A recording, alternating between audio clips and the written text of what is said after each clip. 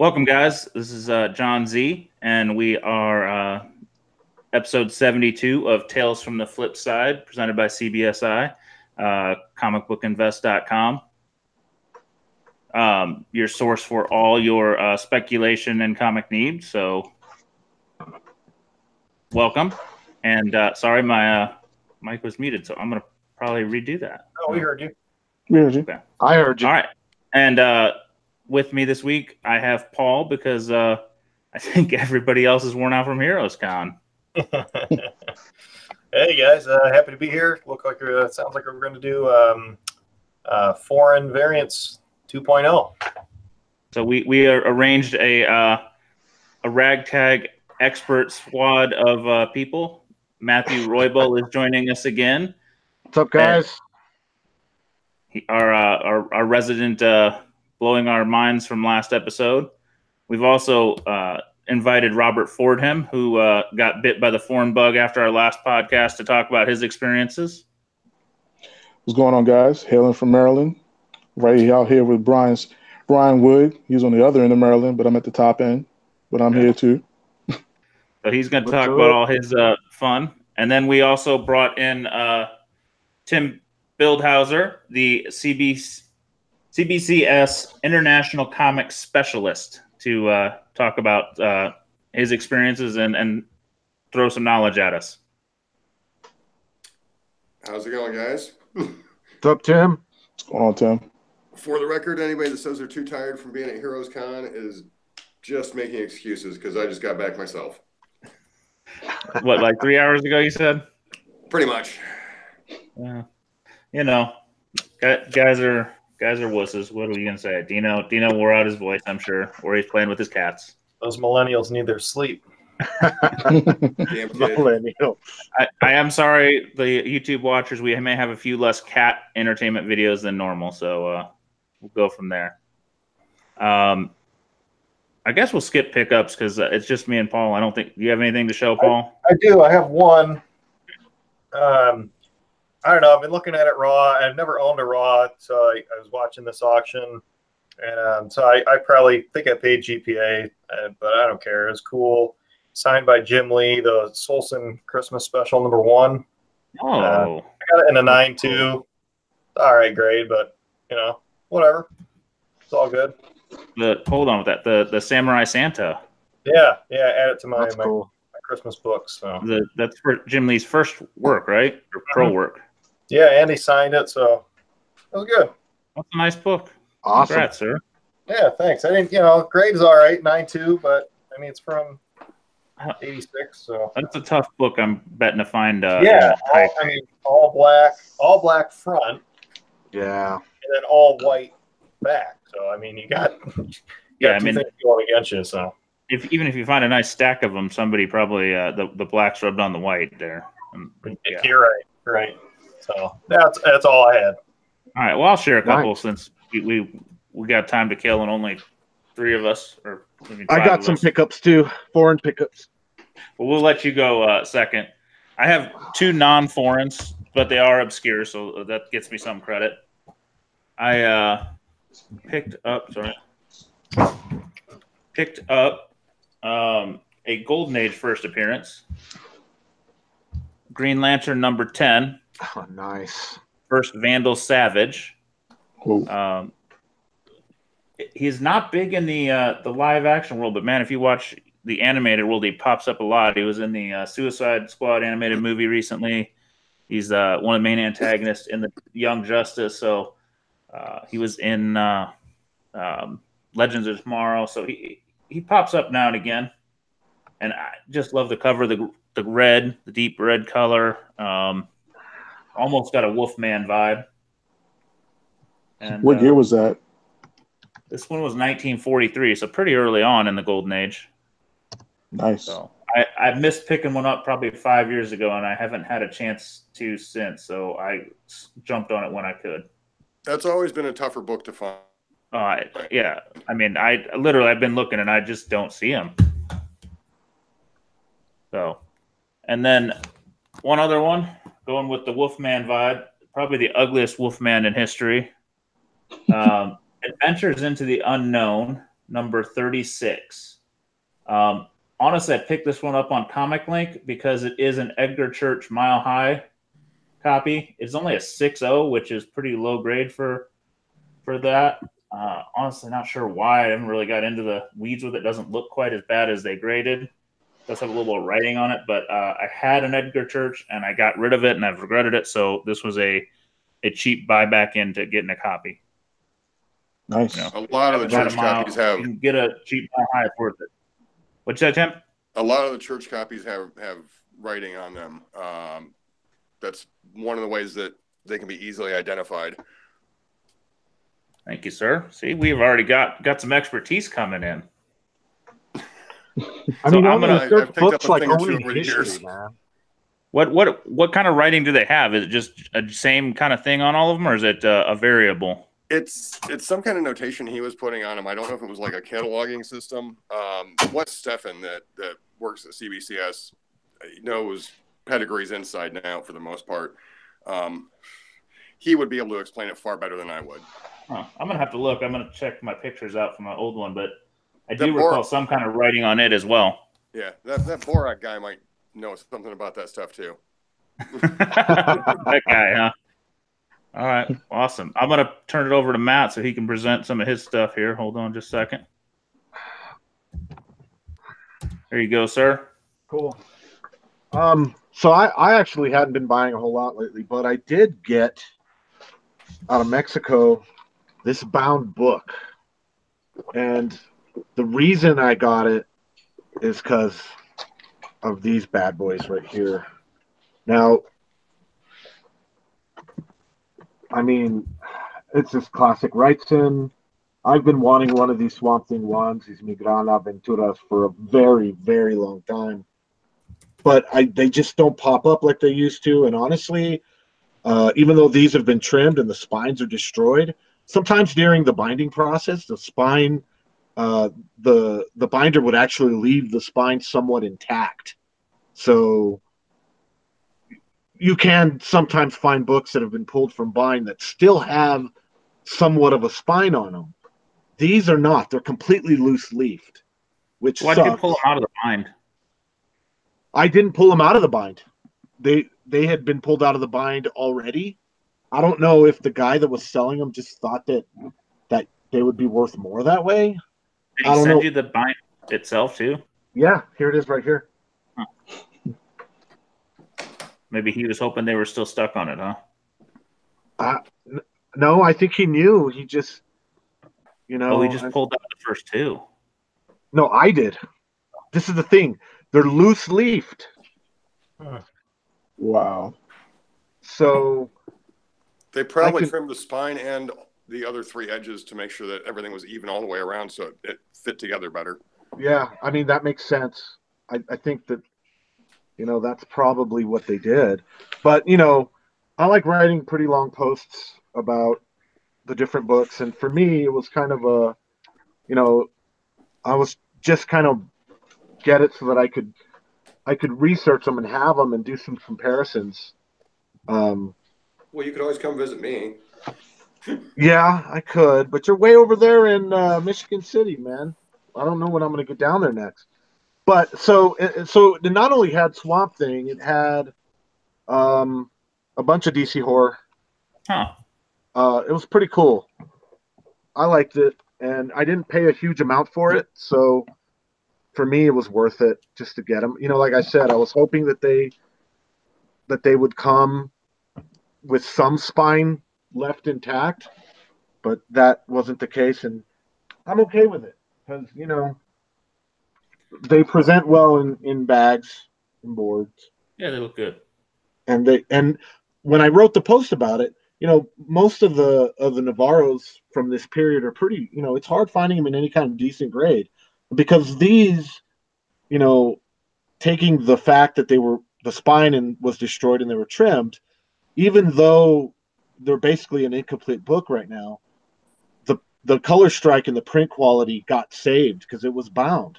So they look beautiful. I mean, they're just gorgeous, gorgeous books, and the interior pages are beautiful. So, you know, that's something that we see a lot in the foreign world. you know, they didn't have bags and boards. So very often, even though it was expensive, um, collectors in other countries would go to binding or toming, or there's different adjectives that they like to use to preserve these books for the future. Because without bags and boards, what were they going to do? Just keep them stacked?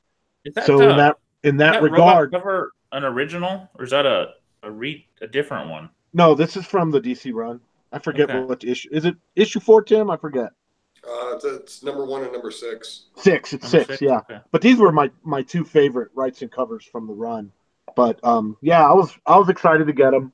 A little sad when when they when they I opened up the the book and they were completely leaf loose leafed, but um, I'm okay with it. I'm gonna say it to the to the audience. Last time, you know, if you're not watching this on video, you're you're losing out. So if you're on audio only, man, you should check out the uh, YouTube link on this guy.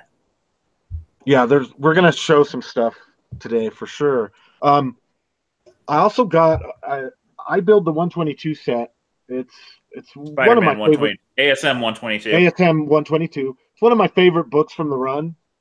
Um, well, I'd, I'd say from the Bronze Age run, but um, this one I've been searching for in a while. This is the Brazilian EBAL, and it's not bad. It's not in bad condition. Um, I know that it's real. With some of the Brazilian books, they have uh, facsimils, what they call facsimils, um, which are modern printings of them. And some of the tricks you can use to make sure you know you can check the staples if they're if they have a, uh, a certain amount of discoloration or rust then you know it's that it's definitely a actual vintage book uh, because they use modern staples on those uh, uh, reprinted modern books so that's one way you can tell and so sometimes when buying EBALs even though when you find some that are a little like this one's got some some little staining dots up here and it's it's not in the best condition. It's maybe a VG plus. I'm okay with it because I, I, I, yeah, it's a guarantee that it's definitely a vintage book. But this will add. I'll add this to my 122 set, and uh, very stoked about that. Very How many do you have in your set now? Um, I think it's like maybe. Uh, I can tell tell you real quick here. Side Um, note, hey Tim. Yeah. Question. I was talking to um, Sky Out on Facebook, and he was saying that a couple of the Golden Age Brazilians didn't use staples at all. They said they used like a glue binding on some of the Golden Age books. Yes. Okay, so staples was probably implemented later on, right? Yeah, and it. I mean, it, that might have been a factor that you know came in due to you know steel being harder to get at the time during the war. Um, it might have been something the publisher was doing to try to, to reduce costs. Might have been something they played around with. It, I mean, it's hard to say, and unless you find somebody that actually worked for the publisher at the time, and you you know they have any knowledge on it. I don't think we're Yeah. for sure, but yeah, I, I have seen some of the the stuff from Brazil from the 40s. It's it's got it's glued rather than stapled. Yeah, because he showed me four books, and it's like one of the four caps that I showed I shared in the Hangouts with uh with Matt and uh John. one of them was straight glue, and the other three were the staples. So one of them is completely glue, like there's no staples anywhere in it. And I was wondering if that was something that's current, or is it something that just danced around with the steel problem? Yeah, I like I said, I, I think that it was probably something to do with you know conserving steel for the war effort. Okay.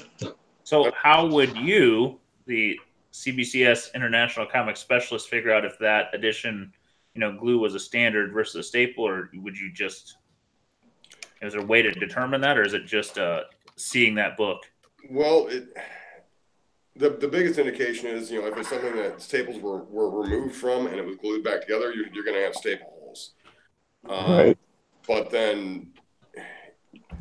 it was glued back together, you're, you're going to have staple holes. Right. But then it, it it's also not unheard of either for books to leave the printers, even you know American books manufactured with no staples or only a single staple. That's true too. Yeah.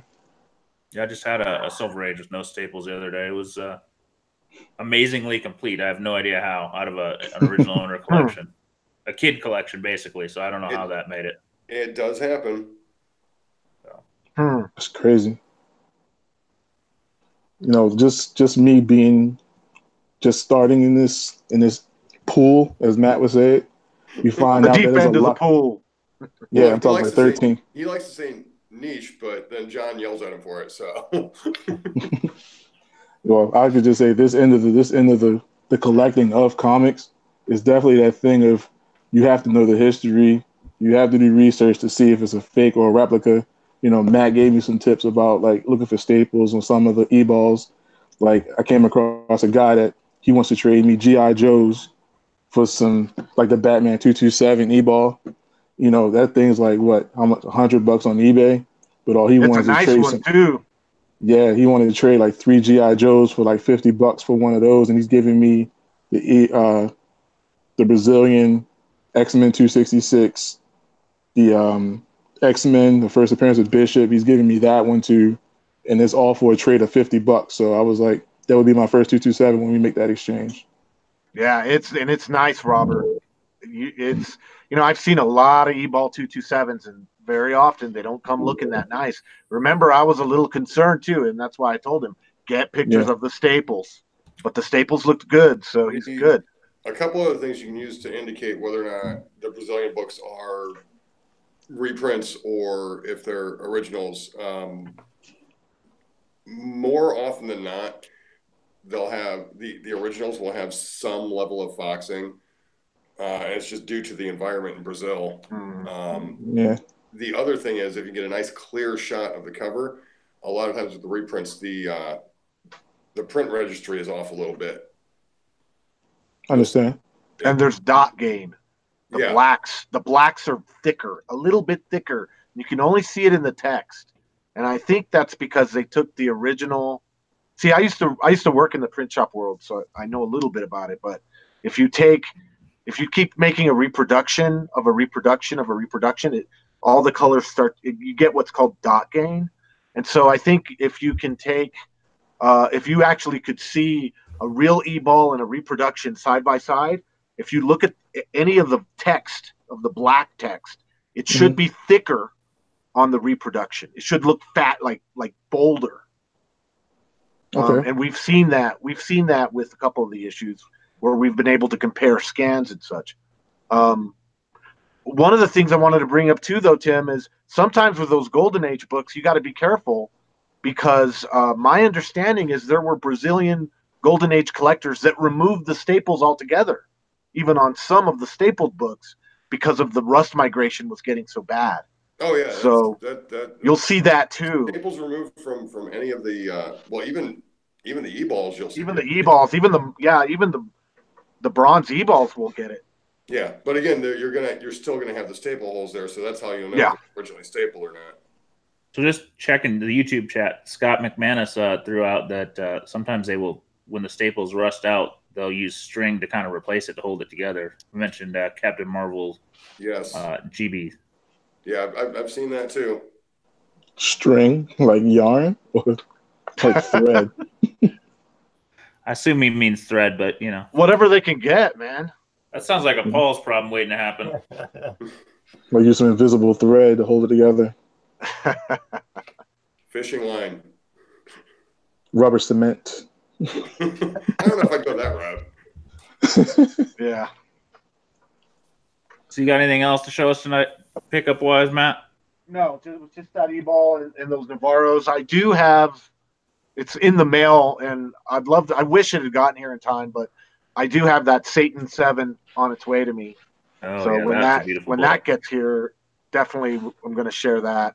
I think you um, should show but uh, nah. some pictures of your other one at some point today because that's Yeah, uh, we can. amazing book. We can, but I'm. I yeah. That that's it. Just, uh, All right, Robert, do you want to show off uh, your pickup since you've been in the world of uh, the foreign Yeah. craziness? Yes, I can do that. I'd say the last podcast was what, 58? Since 58, you know, my first purchase, you know, I kind of talked it over with Matt, was uh, the Mundi Comics, La Pantera Negra. This is my first one on eBay. This was 20 bucks. So where's that one out of?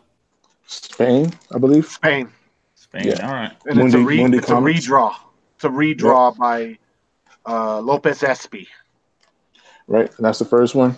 And then the very next one, you know, thinking it was going to be hard to obtain, but uh, I, I think like I could name drop. I like I that got the- frog on the last one. Yeah, keep That's one Keeping that, right uh, there. Got the keeping Greek. keeping the theme going. I thought it was virtually impossible. I felt like Brian McClay. You know, I'm not going to get my hands on one, but he found this within a week of me talking to Gab- Gabrielle in Greece. I got this one Good, good. in the mail pretty quick. He has the rest of the run too, but I'm I'm want to pull the trigger on it, but I know it's like eight covers, so this is the first one of many. That's a beautiful book. That's a pretty book. Yeah. Yep. Yeah, Greek's and just uh, that, that writing is just amazing. It's, to yeah, there's some about the Greek editions that just give you a geek boner. I don't know what it is, man. right, Hashtag geek boner. Jesus. but Not even You know, sure but- to think about that phrase. But yeah, but I can say that this is the one that this is the book that actually drew me into. Wow, that actually would be cool next to the Jack Kirby American version. So Because This is that's the the book that kinda- cover, just different, Yeah. uh, different, just read language, basically. exactly. So this is the one that kind of hooked me in. But then, you know, you guys kind of threw this through the curveball and then showed me this bad boy. Yeah. So this wasn't the first one I obtained. The first one, this is probably the fifth one I've obtained, but I'm currently one issue away from finishing the set. You, So- what's the set again? Because you got to account for the uh, the listeners. Okay, so uh, this what is uh Weekly Playboy number 32. This is the one with Amazing Fantasy 15 reprint in it, and uh, the constant conversations I've had with Andy is definitely a thing of. It's not the first Spidey in Japan, but this is the first one they printed in uh, something this obscure. So the Well, conversations the up. first non-manga, right? Yes, Yeah, and I he think said that. so. Yeah.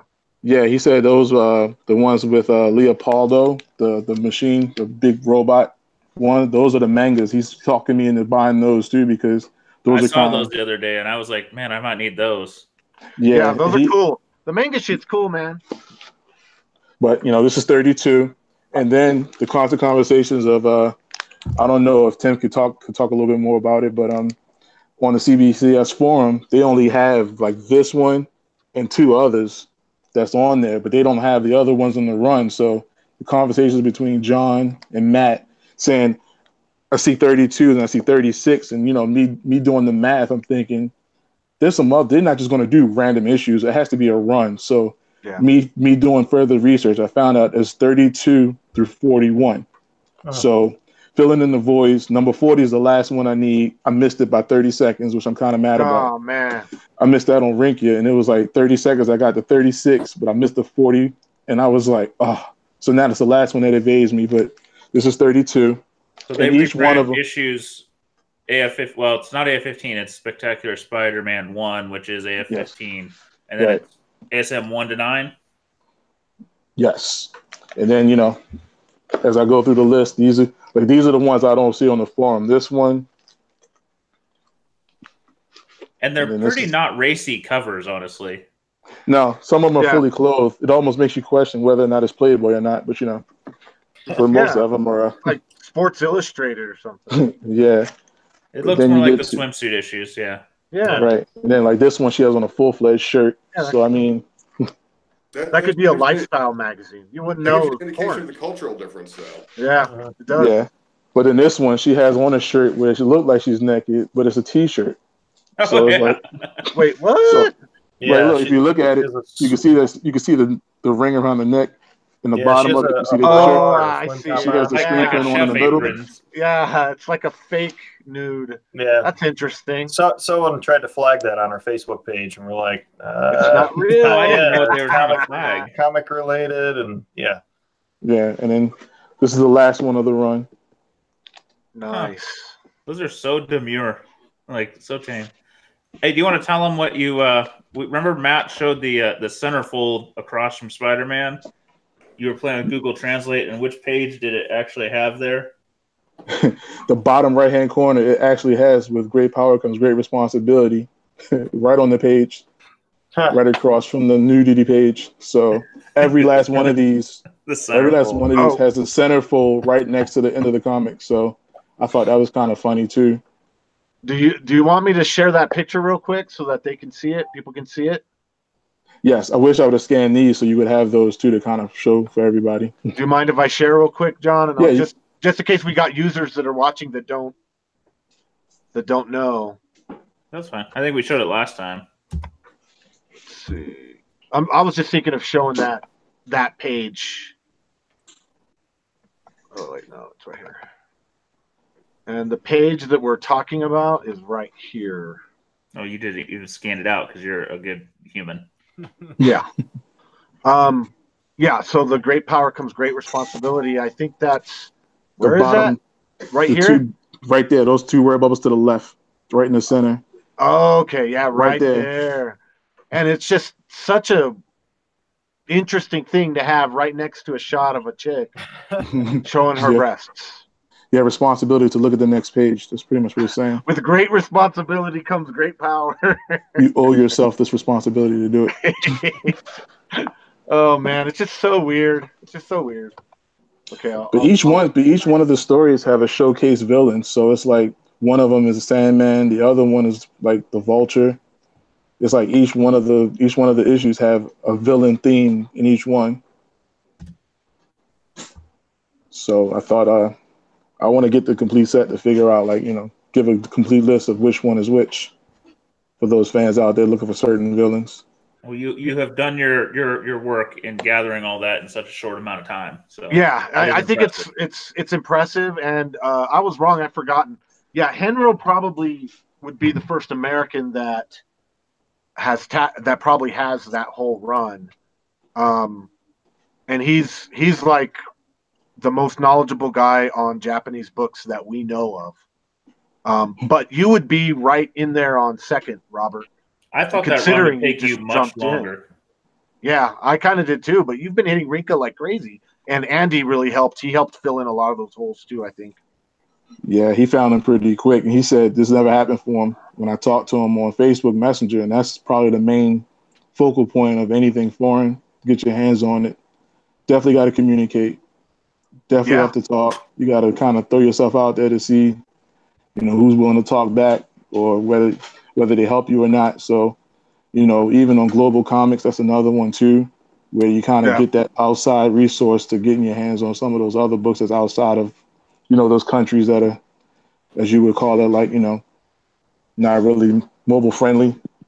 So it's definitely, uh, uh, it's, it's, it's definitely open communication. You got to really get yourself out there, show, you know, what you're looking for. Like the She-Hulk, I have that, uh, Yaffa She-Hulk, the one that's kind of the hardest ones.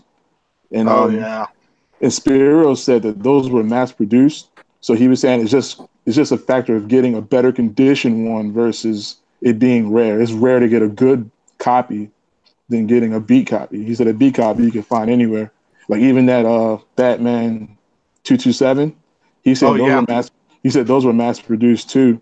But he was saying that it's just getting the grade that you want is going to be the issue. So he was like you also re- got to remember in certain countries, mass produced means different than it means here. You know. yeah, it's not Yeah, in the you know- or anything like that. So well, I was in that. I was in that thread when he was saying that. Now I wasn't gonna. I wasn't in. Uh, I think you're. It was uh, Daniel Best that was saying that. I thought, but anyway, um, I he says that, but I got to tell you that that tip top, that two two seven tip top is ho- was. I mean, it was hard Yeah. to find. he said I knew that was guys hard. looking for it. He, I mean, in any grade, it was hard to find. So I, I do think that there were some Australian books that, um, I mean, if they're that whole era of, of KG Murray stuff seems to be tough, and I, I don't I, I think part of it is just neglect. Um, there was a shop I contacted over there several years ago. They said they've got like long boxes of that stuff sitting in their back room that's just sitting there um, because nobody nobody there wanted it. And you know, I told them, look, I'll I'll pay minimum 20, 25 bucks a book for stuff that's on my want list. They're like, no, we're not going to bother going through it. I mean, they they cared that little at that point in time. yeah, it's crazy. I've heard that story too, Tim. You told it. Yeah, that's crazy. At twenty five dollars a book, you think it'd be worth their time to at least go through it a little bit. Oh yeah, because it's not like I had a short list of stuff I was looking for. But yeah, but I could say for this for this part of the hobby, it's definitely it's opened my eyes to other things that's out there. Like right now, I'm in the process of getting my hands on one of the older Golden Age caps. You know, Those are Sky. neat. Act, yeah, Sky actually let my get let me get a piece of those books that he's been hoarding in uh Yeah, in he does have an impressive uh, collection of everything foreign. He's Yeah, probably the got old- the lar- one of the largest collections of foreign editions. No, He's trying to open. A, he's trying to open a museum. For those uh, listening, uh, if you're on Facebook, Sky Ott is is who it is, if, and if you follow, you'll follow any of the groups, you'll see some posts. But he he has Yeah. just been buying Impressive. a long time. Yeah, he's Like got he has crazy three stuff. copies. He has three copies of the first appearance of Cap in uh, Brazil, Ojiri seventy three. I think I'm saying it right. Is it Ohiri or Ojiri? I don't know if it's Oguri or Ochiri. Okay. or- Yeah, my, Yeah. my Portuguese is is not good, so yeah, I don't know what the G, how the G would be pronounced. Would it be like gra, like Ogre, Gogrui? I, I don't know. Well, the cool thing about that is he found one that has my birthday in 1943, and I was like, wow, that's crazy. Yeah, that's I super want it. cool. I want it. Cool. Cool cover. Yeah, it's a cap. It's a cap close up, like he's punching somebody, and it has like the the the the, the action color around the edges, like orange and red, Huh. and it looks clean too. He said he gives it like maybe a 5.0, but I think uh, I'm worried about the size. I don't know if CBCS could. Uh, I think I guess my question to Tim is like, would it fit inside a CBCS case? Is it worth grading or? it will not fit in our current cases now. Uh, those are larger than a standard Golden Age book from the states. Dang. We will be getting larger slabs eventually, but it's it's Down gonna the line. time yet. I'm, I'm going to just interject an observation just because I saw something unique uh, this week. Um, I'm going to talk about the competitor for just a minute. Uh, I saw that there had been previously a, a size of books that CGC wouldn't do. They were the some of the oversized magazines. A couple examples would be like Warrior, one out of the UK. Uh, the the one that I just saw that I hadn't seen slabbed in a long time was the um, uh, Deadline one, the first Tank Girl, and it appears that they have converted from the old slabs to the new slabs, and it must fit these magazines a little better because I'd seen a new a new design magazine slab of those coming out. So those books that were rare in a slab may be less so here in a few months. So just Huh. if you're out there hunting, Interesting. be aware. I'll be right back, guys. I gotta go get my, a power source for my laptop. I'm about to die. Alright. Hold on. So yeah, just one of those weird things you see hunting obscure books, even if they're not foreign. So Uh, yeah, so I guess so. I guess the standard Golden Age books were kind of like uh, I couldn't even give the dimensions of it, but when you get to those Brazilians, they're what a notch higher, like one of those um, is it uh, Vampirella sizes or is it bigger? They're they they vary. Um, Okay, again, it's it, a, lot, a lot like the Novaro stuff. You know, there there's a few different size formats on those. It, it wasn't necessarily standards that that they went by. I and I know that like for uh, 2000 AD out of the UK, you Mhm. know, they they had the printer run off the current issue the same size as whatever the last thing they were printing was, so they didn't have to reset and recalibrate everything on the presses because it was more cost effective that way. Um, I don't know if that was the same practice that was used in Brazil, but I know that that stuff there is no standard size necessarily. okay. uh, well, that's got to make your job impossible. Uh, a little bit. So since since we're kind of leading into it, so how how what is your role as the uh, international comic specialist? How how does it how's that fit into the grading process? Um, pretty much, I would say eighty percent or better of the international books that get submitted, I do the labels on. Um, sometimes it involves research if it's something I haven't seen, which happens more often than you would think. Um, Wow. well, I mean, I that that's why I don't like when people call me an expert because experts know everything about their field, and I I don't. Uh, You know more than most though. well, yeah, but I've been at it for a decade. um, no, I mean, uh, the one guy down at the office, Jim Noble, uh, he he's he's really good with a lot of the the modern variants. Before I left the office and stopped grading, I, I trained him on how to do like a lot of the new Panini and and that kind of stuff, the Marvel Mexico stuff, so mm-hmm. that you know they, it wouldn't it wouldn't slow down the process because we do see you know more of that stuff come in than anything. I mean, you don't see very many people sending a stack of you know twenty or thirty La Prensa books. It just it it doesn't happen very often. So I should do that. Well, I mean, if you want. but uh, no, I mean, and, and, Jim does a great job of it. I mean, he's you know, he, he's he's got a mind that is able to hold on to that information. So you know, if it's something that has already been done in the system, he's he's able to pull up a match on it. And I mean, uh, the kid's sharp. He really is. I mean, sometimes just finding a match has to be hard. I mean, I, I just my own personal example is trying to hunt the census um, for the Italian 300 uh, ASM. I, there's four listings in CGC, so somebody's typed it one way and somebody typed it another and somebody yeah. typed it a third, and they've spread out. So I got to imagine if you're doing, you know, every country out there, there's some crazy stuff happening. Right, and and that's one of the things that that held CBCS back as far as getting a census up and running is you know simple things like you know typos. You know, if you have Amazing Spider-Man, you know, you've got several different volumes, but then if you have it entered in the system with two spaces after Amazing before Spider-Man, you know, it's it's going to show different uh, in as the data is collating. So, you know, we're having to go through and, and sort all that out. That that's something that we've been working on, but it's it's very time intensive, and you know, we're still a small company. I mean, we don't. there's only what I think like thirty of us maybe. And it's wow. only been what was it four years now? Uh, five. Yeah. So um, how, how, do you how do you get your information? Like uh, you're not on site, so how are you how are you participating in it? Uh, as far as when there's a label that needs to be done, they'll send me an image of the front cover of the book, um, the usually the interior front cover or first page wherever the indicia is at and then if there's more than one story in the book they'll send me an image of the first story page of each story in there uh, there's a lot of stuff you use that for uh, just so that i can accurately notate what's contained in a book okay. uh, a good example is like the the greek spider-man 238 uh, it's got the 238 cover slightly altered color wise. And Amazing Spider-Man 238 is the feature story in the book, but then there's a second story in that book, which is Iron Man 55. Huh. Wow.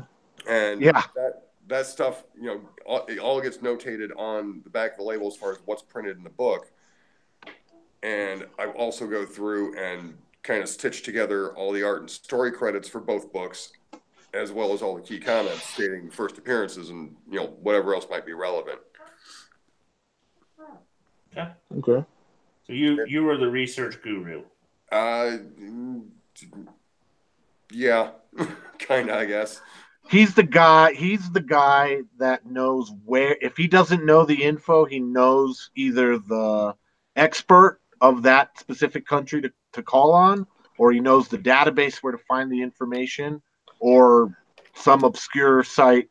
And you know, it, it's what's interesting about that is Tim's been doing that kind of organically even before he started working at CBCS. Everyone in the niche in the early days was kind of their own researcher because we didn't know uh, a whole lot about individual editions.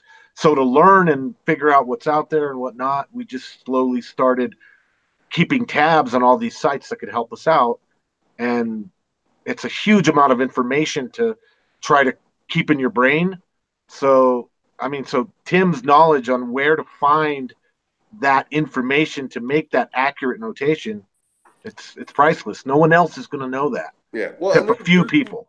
There's some good resources out there too. Um, like for a while, Stefan, when he would send in, you know, heritage books, uh, he would send me a list of, you know, all the information he had on those books uh, last time I was up in Montreal, I picked up a, a copy of the EH guide, and oh my god, it's it's in French, uh, which I'm actually getting, I guess, kind of good at reading. But Um, it so it you know I, I don't necessarily have to use Google Translate to to figure out what it is I need information wise out of there, but I mean they've got so much stuff in there that's that's indexed. So you know I just open it up to whatever page I need and just go from there. Do you have a copy of that book that we could see the cover, Tim? Right at right at hand. I do. Um, It's a really cool book. They didn't produce a whole lot. I have, I have the um, second edition, the hardcover one. I don't have the soft cover. And this was like what? It was like four guys, right, Tim? Four experts. Yes, that took them about eight years to pull all that info together. Um, while he's looking for that, Blue Green Artifacts was wondering about modern variants like the um, Edge of Spider Verse 2 land variant. His question was um, Do foreign countries like Mexico print the uh, racial variants? Like, do they print theirs in the same numbers that the US do, does? Not, not generally. Um, oftentimes they will take whatever cover they like the best, or sometimes they cover off another book entirely. Um, they used the land variant on that book, I think, because they liked it better. Uh, I don't think the the original, like you know, standard cover from the states. I don't think that exists in Mexico. This Hmm. is the EH guide. I don't know if you guys can see that. Huh. Cat front and And center. it's, I mean, Hold on, a- I'm gonna I'm gonna put you to present for this. yeah, it, it's a fairly thick book too. So, oh, there you show it one more time. Okay, nice cap cover. Oh yeah. So this was mass produced, or this was a No, these there was a very small print run on these, and like I said, it's it gives you a breakdown issue Oh by issue indexed of what's in there. I mean, even when they have like a little one page poster, um, and it, it does it's not complete. They don't have you know that kind of information available for like all the Archies and some of the the the more obscure titles. There was a few original titles that EH did too that they don't have in here.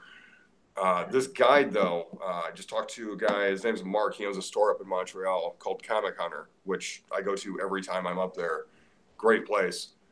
Uh, he said the, the copies of the guide are starting to sell for about 500 a piece. wow. Yeah, they're they're um, because the, the the original softcover print run. I think Jean Francois said there was maybe a thousand copies, um, and the hardcover. I think they only did five hundred of. So hmm. there's not a lot of them floating around. Yeah, notice you the keypad behind you to get to that thing. You got locked up. Oh, yeah, that's, Oh, Tim's like Fort Knox, man. yeah, that. All I heard was beep, beep, beep, beep, beep. like, closet where I keep some of my odds and ends that can't be replaced. Solid idea. So, what uh, you know, just since you're you're kind of at the you see it, I guess. I mean, at least you get requests. What what are you kind of seeing as the the trends? What are people sending in for grading? What's what's kind of the more popular things that you keep seeing across? Is it certain sets? Is it certain books or editions of books? Is it certain publishers are, are starting to pick up steam? What what what are you seeing out there outside of the moderns? that Obviously, are probably getting It's a it's a really random mix. There's I mean there's times where somebody will send in you know an invoice with 20 books on it, and two of them are just completely random you know Zinco books from Spain. Uh, there's times where you know I'll see an order come in that's you know they have some Novedades in there uh, along with a couple of German books. Uh, most of the time it's it's it's keys, not necessarily you know Yeah. the big keys, but a lot of the the more minor keys. Um, some of the characters that are starting to get popular now, like the first appearance of Vixen. Um, trying to think what else. I've seen. Taskmaster's getting in his day. Yeah. Um, not Now you said not too long ago, there was a guy sent in, and th- this one was interesting. It was uh, the animated Turtles book, the first one they did, based on the cartoons. Oh yeah, Um, Paul, Paul's was- paying attention now. Oh, yeah, you got Paul's He's attention, up. It, it's a copy of that book from Mexico, but the interesting thing about it is the the cover and all the interior art was completely redrawn by a Mexican artist. Interesting. So are Yeah. there are there reprints of uh, the original Mutant Turtles magazine anywhere? Any of the countries do that? Uh, I'm honestly, I'm not sure. You haven't, I haven't seen seen them. it. I have not. I haven't seen it. but that, that's not to say they're not out there. Yeah. I mean, I'm just gonna send. Well, other than the, the cheap Russian reprint reprints Paul's collected. Yeah, I love those things. I have The seen some animal bootlegs. books. Um, uh, Usagi got done in Sweden in a few places, I think. Yeah. But I don't know about. I haven't. I can't really say I've seen a a Turtles foreign edition that used the classic number one artwork. I I would think that there might be somewhere. I would like I- to think maybe Japan did it. There was there was a regular comic size one. I think they did as a uh, convention special for La Mole. A couple years Ah. ago. They had they had Kevin Eastman down as a guest of honor. That's pretty cool. Oh, A La Mole That, very. that might be. now with Uh, the trend now with the uh, that, yeah, oh, go ahead, Paul. no, I was gonna say that might be attainable then. That's It should said. be. Yeah, Oh, yeah. It should be. So I would uh, you'd find so- a, a couple copies on Mercado Libre or uh, possibly even Todocoleccion. Yeah. It's hard to navigate the So, Mercado Blue- library. Though. Oh, Yes, It is. Usually Looks with very, Mercado, uh, it's it's better with all the Mercado sites. It's usually better to have a third party pick stuff up off of the sites for you. And interestingly enough, now you have you have some savvy Mexicans realizing that they can make money just picking up stuff for Americans on Mercado. And I think it might be as a result of not just comics but other stuff, other collectible hobbies. And GI um, Joe's is big. yeah, so you'll find you'll find within eBay itself, I believe, guys advertising their services for picking up stuff off of Mercado, and um, so you know that's usually easier than trying to get an account yourself. Though it can be done, it's usually easier to just have someone else do it. because they don't want to ship out of country a lot of times. A lot of them don't want to ship, or they don't use PayPal, or they they use other different weird stuff. And so, well, but not only that, uh, like um, I've had people get stuff off of Mercado for me that I trusted that knew it, that their gut on whether a listing was bad or good, like whether it sound seemed like a ripoff or not. You know, for us as a as or for me as an American to go into Mercado or even you know uh, the Brazilian Mercado or the Colombian Mercado, um, you know, I that? wouldn't. My gut. Well, Mer- Mercado Mercado Libre is like a company that's like a satellite company that handles all. It's a big auction site Hmm. in Spanish speaking, the Spanish speaking Latin world. Um, and my understanding of it is that you know how eBay and PayPal were in bed together. Yeah. Well, Mercado Libre was in bed with something called uh, what was it called, Tim? Paisa Pay or something like that. It was a different kind of credit processing. Huh. So the last thing Mercado wanted was Americans coming on and getting uh, getting people interested in PayPal and the ease of use of PayPal because they want that other company that's handling the uh, the transactions in the Spanish speaking Latin world. They don't want PayPal muscling into their shit. So what we what we saw a lot was um, hold on, just closing this door was the different Mercado sites made it kind of hard to, to create an account. And you'll see that also in some of the other foreign countries. Um, like they, well, for one, you got to deal with the language barrier. So if you can't read Spanish, you're kind of screwed. But Right. you can do that through Google Translation, either through in browser, in browser window, just having a second window open. But like sometimes, what's Frank. Yeah. like with Rinkya. Uh, But sometimes they they'll make it to where you need a local phone number or you need a local address. All these little hoops that they try to get people to jump through so that they can try to ensure that you're from that region or location. Um, so as foreign hunters, a lot of the guys came up with tricks. So one of the tricks was if you were trying to get a Mercado account or let's say a, a QXL account or one of the other foreign uh, auction sites, you would use the address and phone number of the Hilton hotel in that country. Because most Hilton hotels, you can pretty easily on the web find uh, their address and phone number. So that so there's there's ways you can jump through the hoops to, to get the get an account there, but it's probably best in as far as Mercado is concerned to use a third party that that's there in country.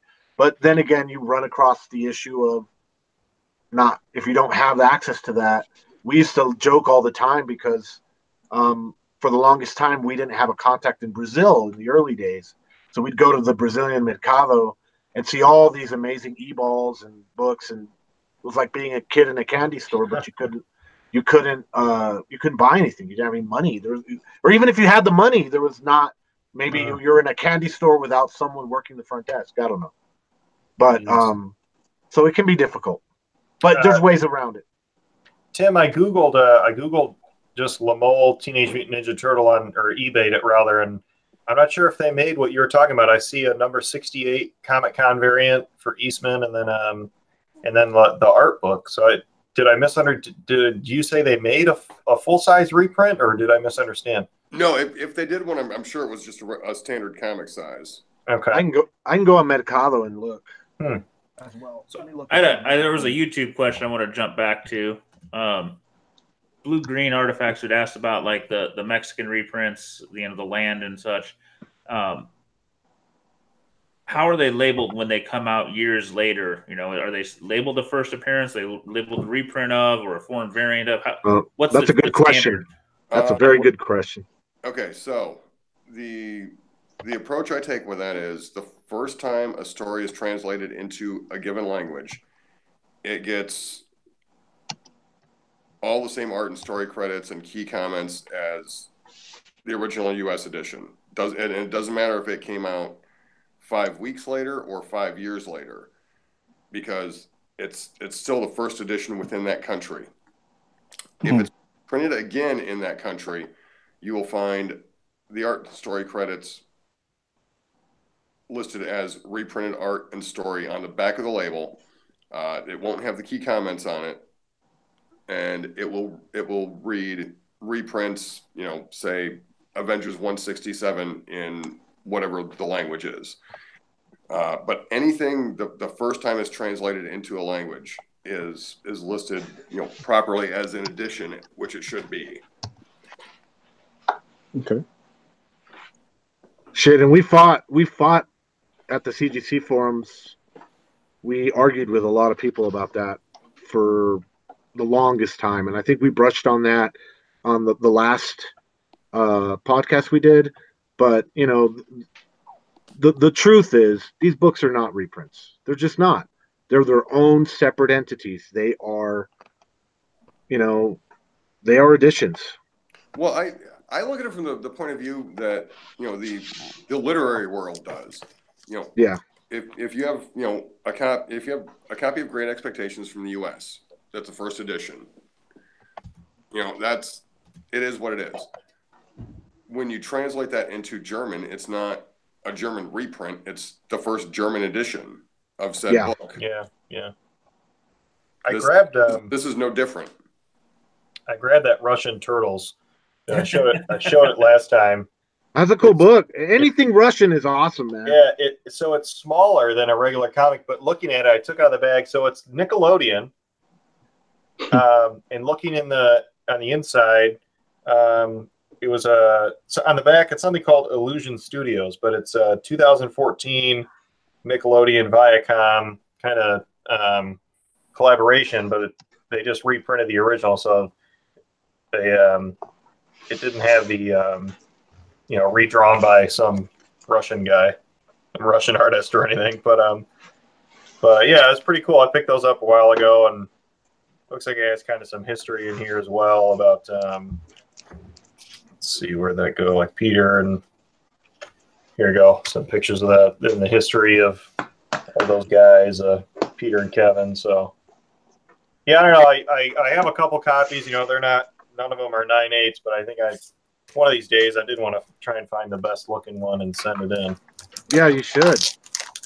And Tim, Tim's done. He's done notations for Russian books before. I know because um, my Russian uh, Hellboy got slabbed by CBCS, and it looks great. I love it.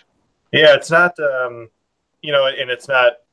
I don't know how much research you'd have to do on it. It's out. It's out. You know, officially Nickelodeon licensed. So I don't know. So I've been noticing. Uh, I don't know if it's been there before, but I've been noticing a lot more questions on uh, on on the, the Facebook group, the, the comic speculation and investing uh, Facebook group, as well as probably some of the other groups out there. Of I've got this foreign first appearance or this foreign edition. Should I grade it? Um, you know, what what are you seeing as far as that, uh, Tim? Are you seeing, you know, high grade, low grade, any grade coming through? Is there, It, you know, is there any kind of standard that you're seeing happen? It it varies from one country to the next. Um, you know, and, and Matt can tell you as well as anyone, high grade stuff from the Philippines is almost non-existent. Yeah, Um, it's the impossible. average you you normally see from Mexico, and I, I mean, hell, John, you know this. You know, the the the nicest stuff you usually see from there is maybe six, six five at best. Yeah, it's in the fine range. Um, so, but then I mean, you'll you'll find stuff from you know Australia that, that's high grade occasionally. Um, Germany. yeah, Germany, Italy, Spain, UK. But I mean, it, it just it all depends on you know the quality of the, the materials they were using when it was printed, and you know really what the collector mentality is. Yeah, the culture. That was huge. So my next question would be if uh, you said the Philippines is rare, what about the super comics in South Africa? Are those do those come across you? That's a Any- little any bit thoughts? of a different animal. With the super comics, they're they're hard to get a hold of because the, the collectors there actually love those damn things and they don't want to let go of them. Um, there was there was one. I, I don't know if it's the number one in their Superman run. Tony was looking for it. It's uh, it's got the cover of Superman 419, Oh, don't ta taunt me. And he found a guy that had one. He offered him a thousand dollars for it. This is Jesus. at least five this- years ago. This was years ago. And the guy turned him down flat. He's like, nope, not selling it. So that's the he- number one that has that on it. I, I believe so. I think he wonder said my wife's gonna kill me. he told Tony something like that. Yeah. So it's, Wow, I mean, that's it, amazing. It, as far as condition though, I mean, it's it's all over the board, just like it is with U.S. stuff. You know, I mean, most copies of EC books that that get sent in for grading are low to mid grade at best. But you know, we also did have one guy send in like 120 of the Gaines file copies that you know they literally look like they just came off the press because they pretty much sat in that state in in Gaines' office for you know however long. I mean, those things are they're absolutely breathtaking. So what's the most uh, amazing foreign you've seen come through? What's what's the one that's just made you go, holy cow? Um, we have had two copies come through of the uh, Pence copy of Hulk number one, Ooh. which That's pretty cool. I mean, Hulk number one, that, that book's gone insane. Uh, but from everything I've been able to determine, talking to people and, and digging a little bit of my own, uh, the Pence copy of Hulk number one is the scarcest Silver Age Marvel key because it was only about 5% of the entire print run that they printed for the UK. The Like average it wasn't that did was- popular. went anywhere between 10 to 20 percent um, Wow. But without without really knowing how well the book was going to take off uh, for whatever reason they scaled back. Um, in the 35 years that i've been in comics and the, the five years i've been with cbcs um, i've seen three copies of that book. Wow. i would take one of those over an af-15 any day of the week What's That's the not that's not the kind of book I expected you to pull as a Pence. Honestly, I was thinking you were going to go somewhere obscure. what does uh, the cover look like? it's it looks Any exactly like hulk number one only it's got uh, i believe The it's Pence price. a 90 it's either a 90 or a 60 price on it Wow. but yeah that that book is ridiculously scarce um i mean i've, I've seen some other stuff come through i mean Some of those early South African. The didn't you do a Batman one? yeah a guy sent in um it was detective number one and action number one from South Africa. Um, actually, that he, these those got sent in before I actually worked for the company. I was actually down there, I guess, interviewing, and there was a few of the guys in the grading room standing around looking at them like, "What the hell are these?" And I looked at them, and I'm like, "Oh, they're South African." And they're like, "How do you know that?" And I said, "Well, if you open the front cover and look at the indicia, it's going to say Johannesburg." Yeah. So that that was the first day I walked into the office. Like you're hired.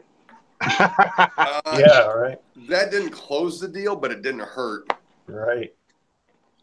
Hmm. Um, Matt, you find anything on the turtles?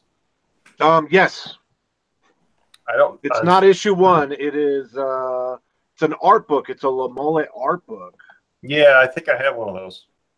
Um, if you switch over to my screen, Z stepped away, so I don't know if we can. You might have. If you go to the left and hit share screen anyway, if we all. Oh, okay. Let's see. Hold on. Um, But it's yeah, it's from. Um, it's it's like um. Here, hold on.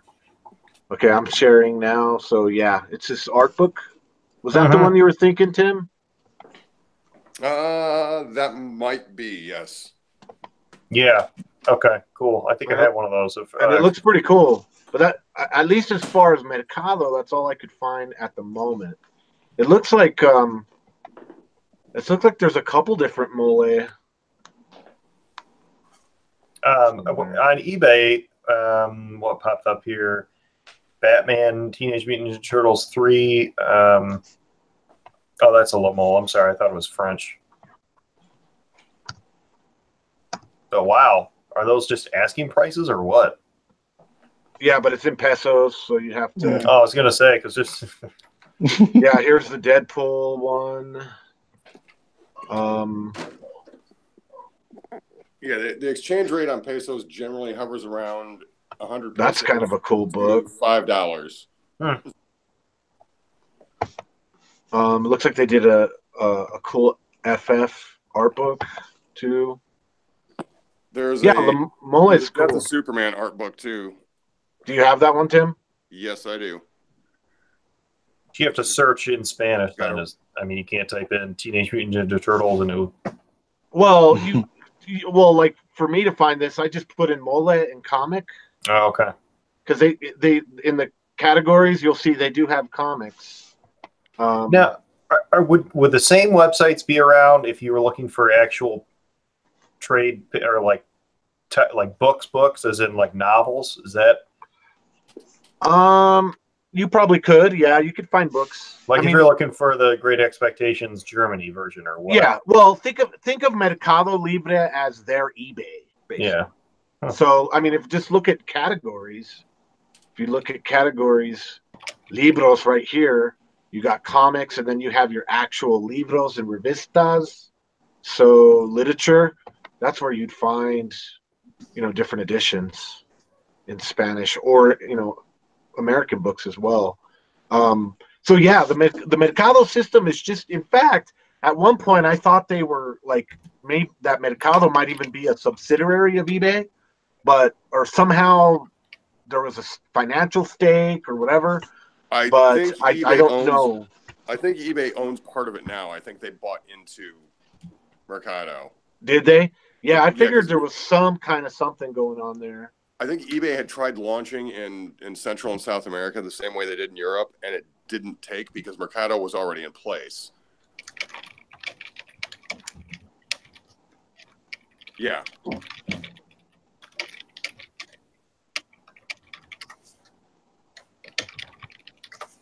Uh, yeah.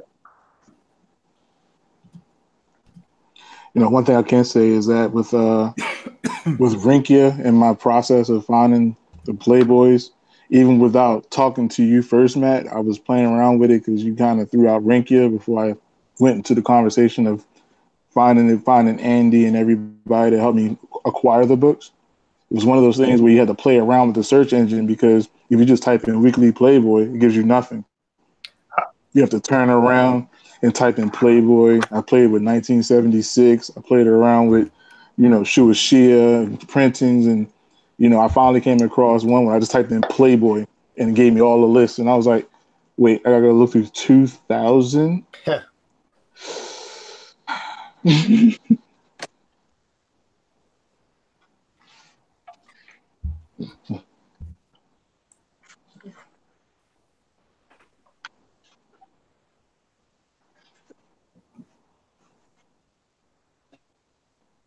Yeah.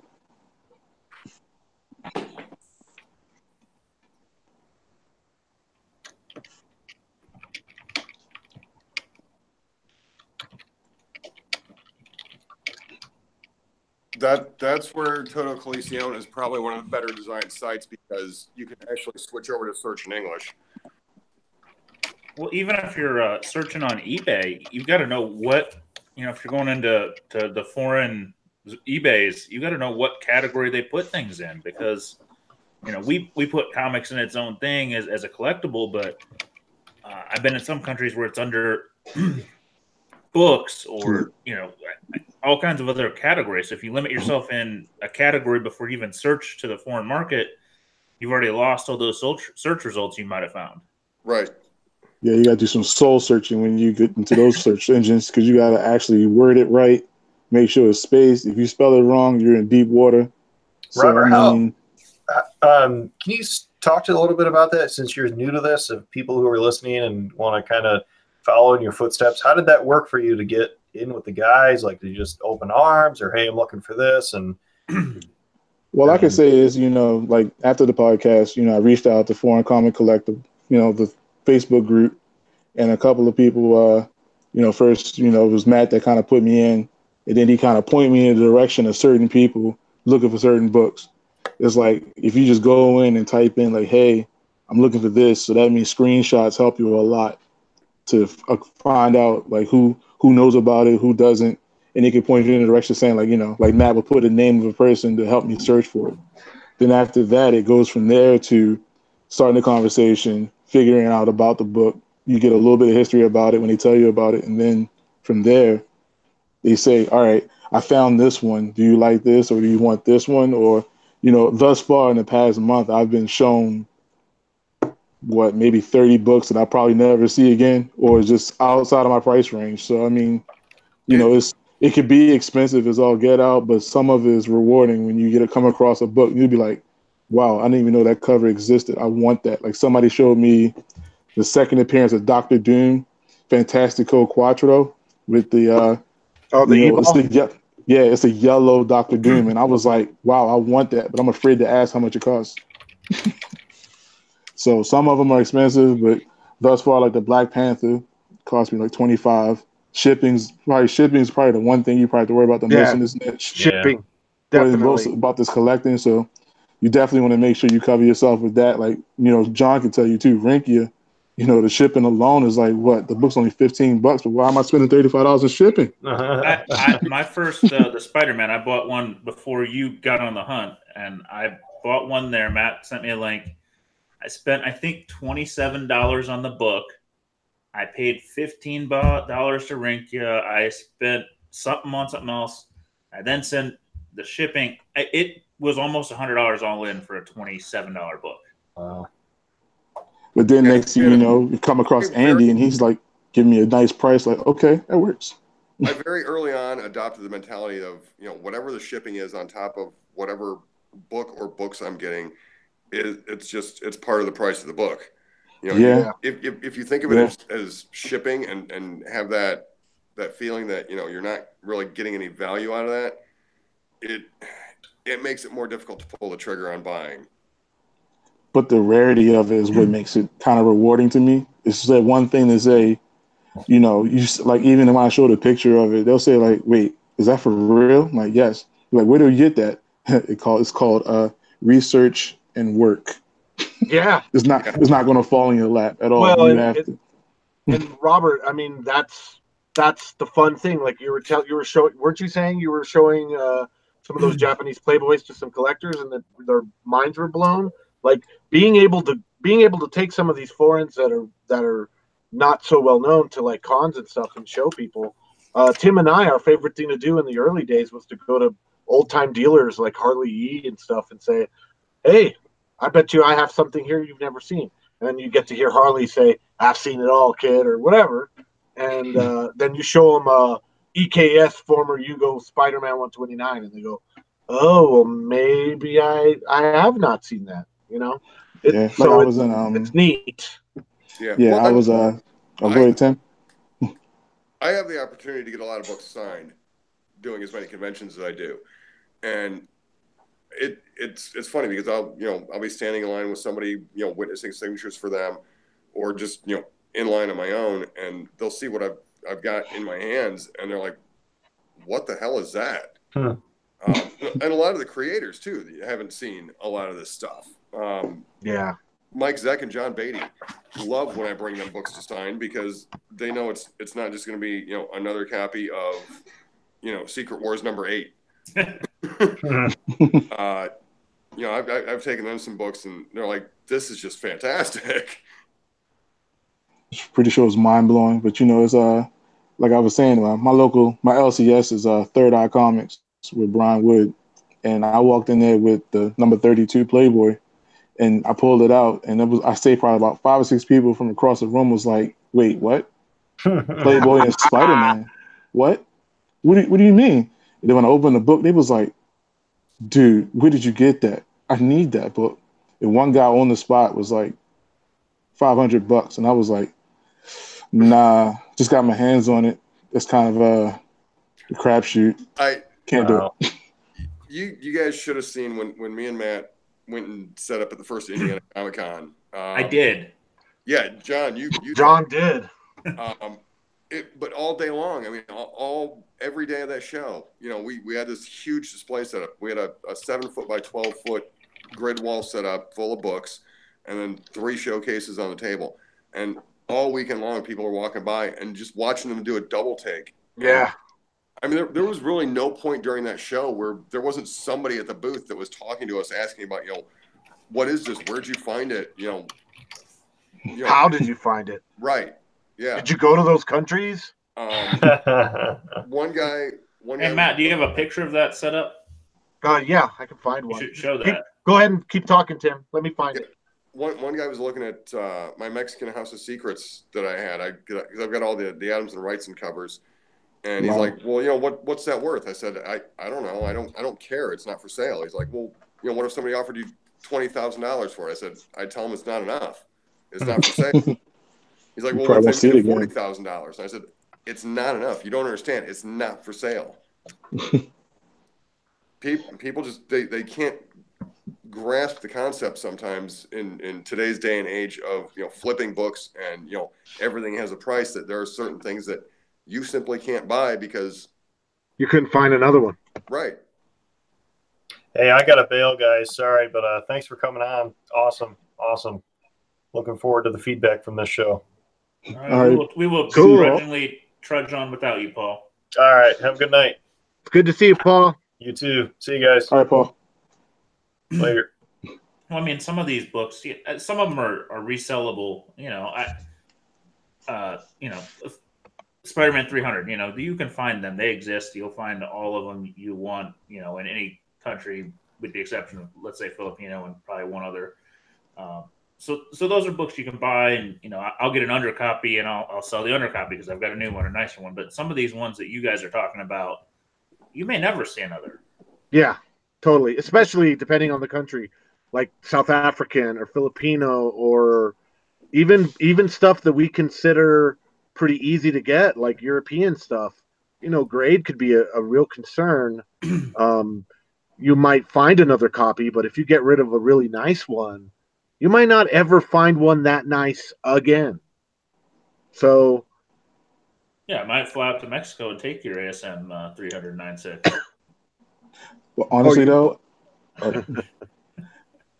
no, I was going to say with my my research, I'm finding out that uh, Hulk 181 homage or the cover swipes of that, those are starting to get up in price too. Like, oh I yeah, think I said the Brazilian one, I think that's the only thing that rivals that 227 um, Batman. Do you, do you want to do you want to tip on completing a Hulk 181 set?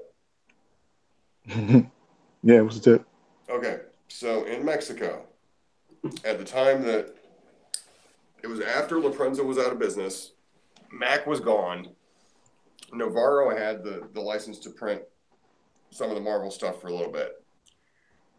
They have one book that has the cover of 180, and the next issue has the cover of 182. 181 is split between those two issues. Wow, Yeah, it's weird. that's crazy. But do do foreign collectors collect the cover or the story more, or does it? Yeah, vary? that's the next question. Most It guys seem to go after covers. Um, I I don't know. I my my thought process on that is, you know, if even if that, that book exists as a backup story in, in another book and it doesn't have the cover, for a complete set, you still need that book. Yeah, if you if you consider it complete. See, and I'm I'm not quite there. I feel like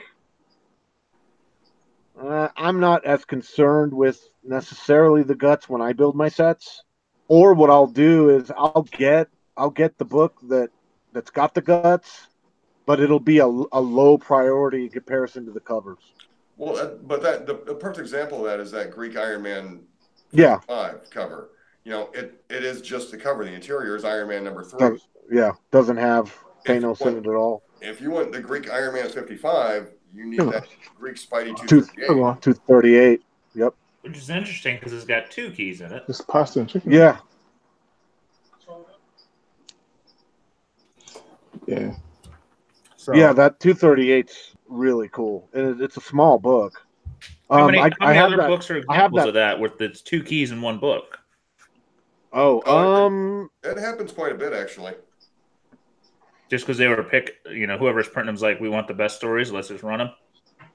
Um, well, like, and the Corno books from Italy are a good example of that because they, you know, they they'd have the main feature being, let's say, Captain America. Um, so they'll have they had some of the, the Cap stuff from uh, Tales of Suspense in there. Like I think it's sixty four is in there. I don't think fifty eight and fifty nine are in there. But then the, the backup story in that that book is X Men number one. Wow. yeah, they how they packaged it, different publishers just kind of threw, or sometimes they would do like, for instance, the, you know, the death of Gwen Stacy storyline. So you'd have 121 and 122 in the book. They might not have used 121's cover, but used um, 122, and then inside it's got 121 and 122 uh, Amazing Spider-Man. So you can have those instances. Um, one that's happened recently, that right off the top of the, my head, Tim, is that Greek Crow One that actually has. Doesn't it have the Caliber Presents, um, as well as Crow One through Three? I thought that's so. It was in essence, it was two did, Crow yeah. keys.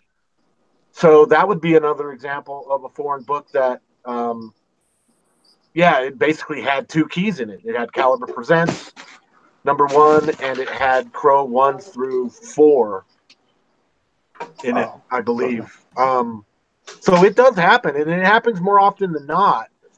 But you're only going to know about it if you know about it, not if you're just going by covers, because you might not know what's in the interiors. So you gotta you gotta do your research. Again, harping on what Robert had said, you gotta you know it, it's research, research, research. If you're just sitting around looking on eBay, you're, a lot of the foreign stuff you're not going to find it. No matter how you type it in, Yeah, gonna find You got you got to be researching it and know what you're looking for and know what's special and know what's out there. Um, and so it does. It, it's going to take newcomers a little bit of time. Um, but uh, getting back to what you had been asked, uh, Robert, you know about how you kind of as a newcomer got into it. You know the the right now the at least you know the the foreign collecting community pretty much everyone knows everyone else. It's a very small uh, Yeah. community. At least, at least the based on a lot of the you know the Western Hemisphere. Um, Definitely. so you know everyone is really cool. You can hit up anyone and ask them questions. Um, very often some of these guys that are, are, are in the niche also are in other foreign countries. Um, you know, there's big collectors in different countries that we know. Bjorn out of Sweden, um, Andy, Robert, Andy out of Japan. And those guys are always willing to share knowledge or to help new guys come out. Um, it's And, just a um, matter of having the social skills to just reach out and say, hey, what can you tell me about this? Or this is my favorite book. What forums are out there about this? Yeah. Um, Like Well, um, and, and uh, I mean, Matt, I'm sure you, you you'd be willing to attest to this. I mean, I'm I'm generally accommodating when it comes to sharing information. oh, yeah. I'm I'm just not always readily available. Yeah, because Tim's always Tim's not always on Facebook. You know, in the early days, it was through the forums. You know, um, but now with social media, there's I mean, there's a large presence of uh, collectors on Instagram, Twitter, Facebook. I mean, you name it. Um, but all of that being said, if you are still looking for contacts in a country to maybe help get you foreign stuff, you might still have to go where those people are and there are still plenty of foreign forums, foreign comic forums. In the early days, we used to have to go to the foreign comic forums, sign up, meet people, become friends, and have to say, "Hey, can you do you think you can help me out?" And that's how we got stuff out of really crazy places. Yeah, Facebook group definitely helped with that. I can say that it's more or less user friendly. It's Like I said, it's just the communication skills to be able to relay what you're looking for and knowing what what direction to be pointing to acquire some of the books. Like even um Norman Robinson that's on Globo. Yeah, Doc Scott. He put yeah, he uh hey uh John, he posted some books from uh the tick. He had one from uh Oh, What I didn't was it? see that one. yeah, he had three or four of them. One was German, one was French, and then I think the third one was like, oh, what was it? It was like the Thailand one or something. And I was like, wow, I went, I meant to tag you in it, but then I ended up getting a phone call and they took away the page, and I was going to tag you in it. Like, I don't think you've seen these, John. I didn't even know they reprinted it elsewhere. Did they? Uh, what what cover did they use, Robert? Did they use the black cover?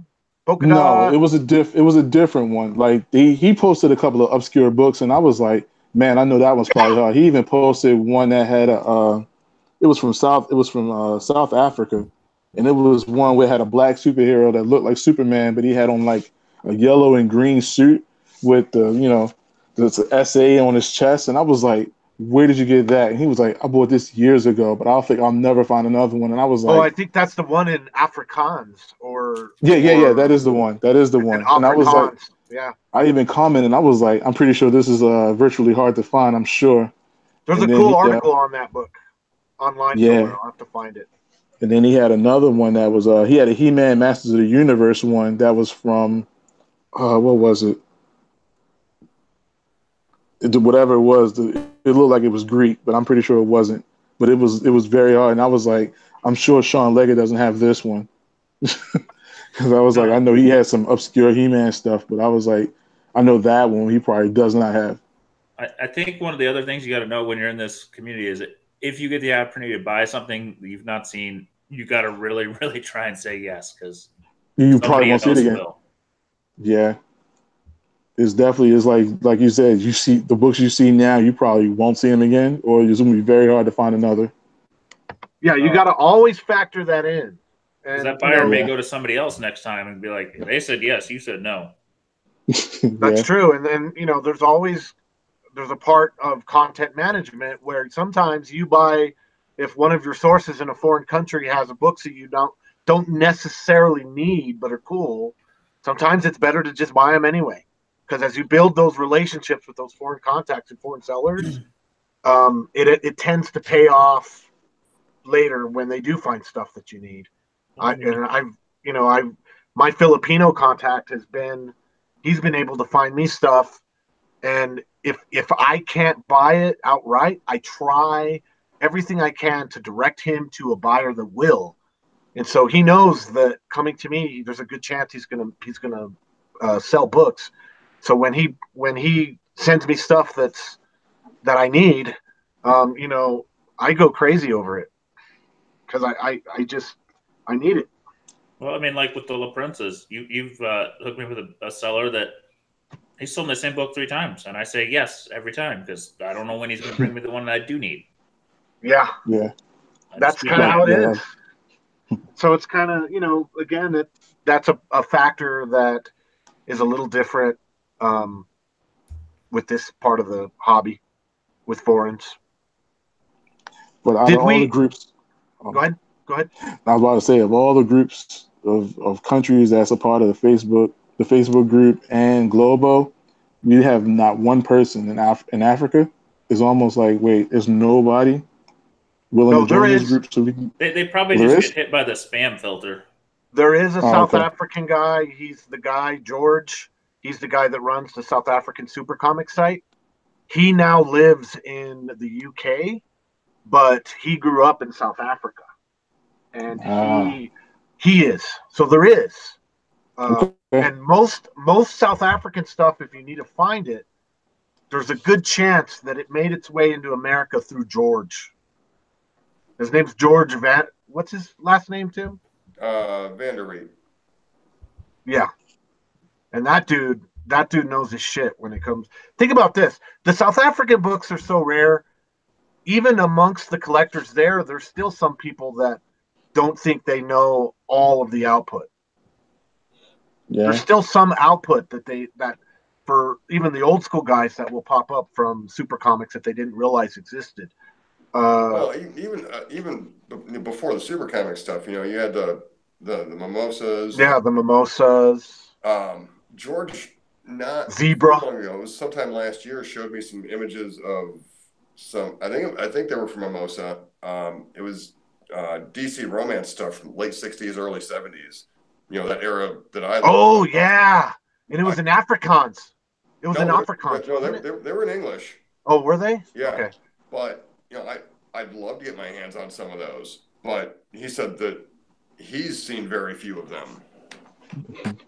So here's a Yeah. here's a question. I, I don't think maybe Robert was asking it different, but are there other countries in Africa that were print reprinting any of this, or was it all South Africa? Uh, well, we know there is. Uh, is it Zimbabwe, Tim? Yeah. I saw Zimbabwe. Uh, No, the- Nigeria. Nigeria. So we know there was Nigeria. We also know that there was some Mundi Portuguese stuff that was sold in Africa, um, because through colonialism, uh, there was I forget which countries in Africa were kept by the Portuguese, but they they printed some books that had African pricing along with some of the other, um, you know, normal Brazil and Portugal and all that.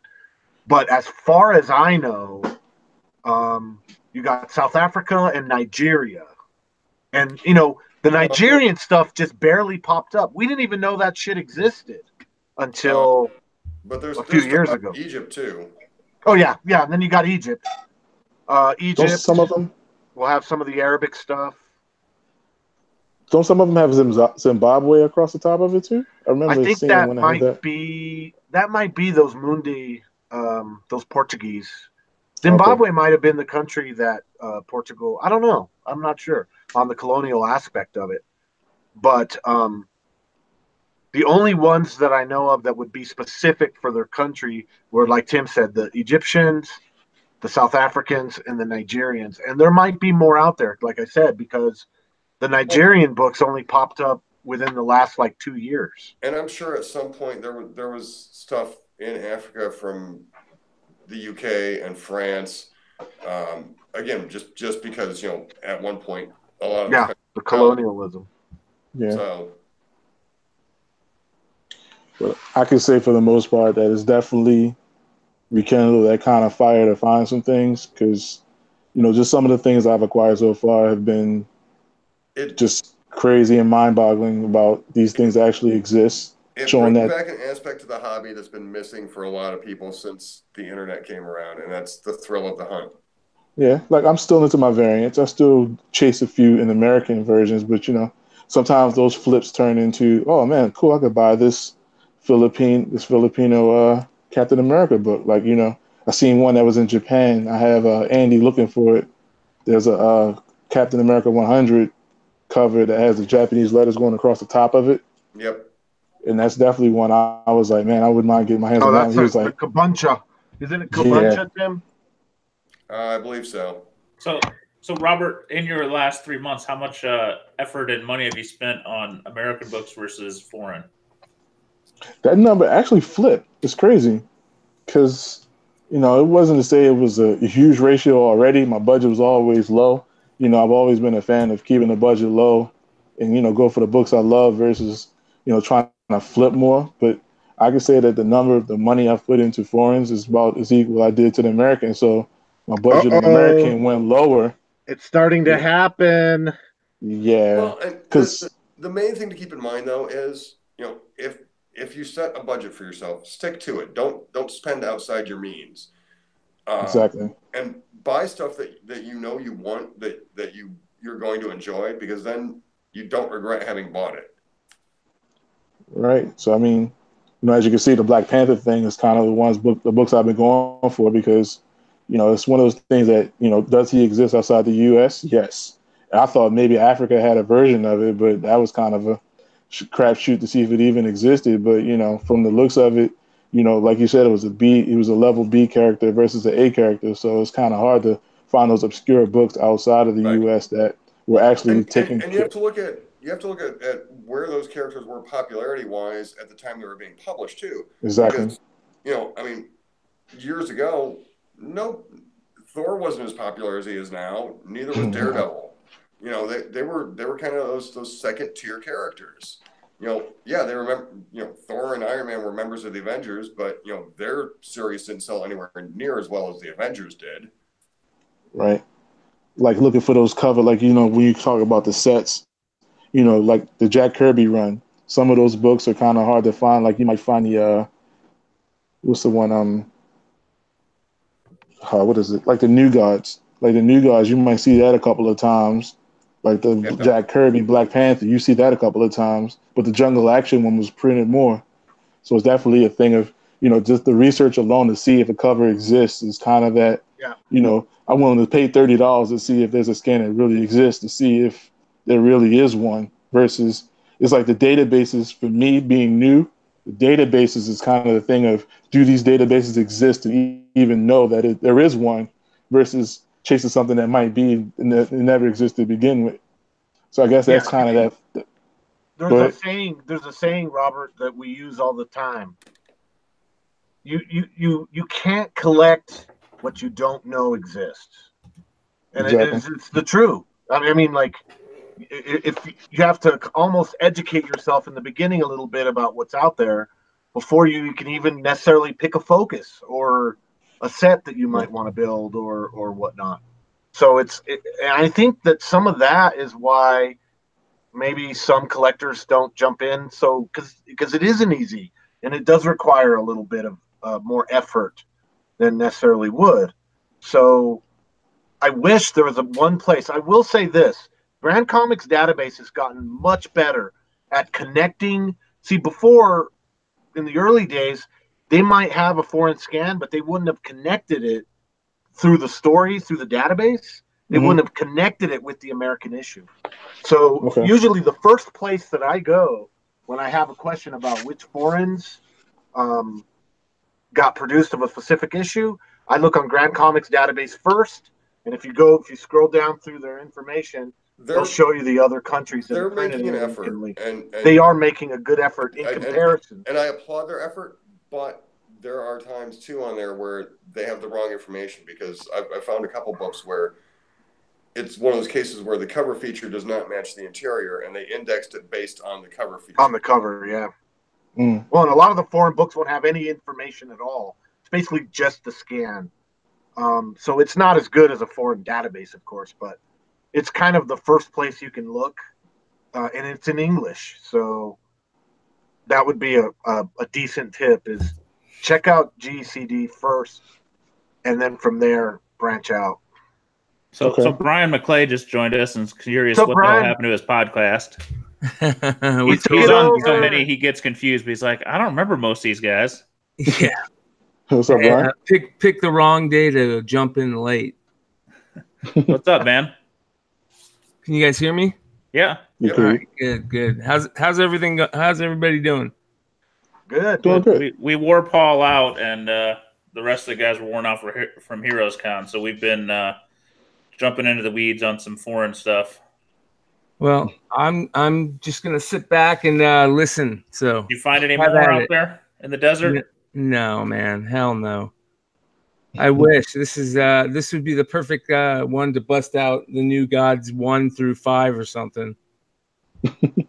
Hey, you found would. one that you. Speaking of new gods, though, Brian, show Robert that new gods you got Oh, at Novaro. it'd be nice if I uh, could just magically pick it out of all these so, yeah, I was present did. on the podcast. I saw it. I was uh I was lucky enough to find that New Gods number one, uh, not knowing what I had. So, um, Yeah. Yeah, that Mr. book, Miracle, too. right? What's that? And I was saying you found the Mr. Miracle number one too. Yeah, I was Yeah. present when that broadcast. Yeah. Yeah, Mr. Miracle number one too. Yeah. very nice, very nice. I would think in the desert you guys would find a little more, but it's probably still a crapshoot.